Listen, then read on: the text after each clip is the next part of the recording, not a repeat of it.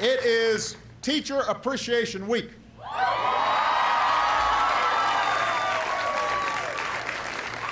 So, all the teachers, raise your hands.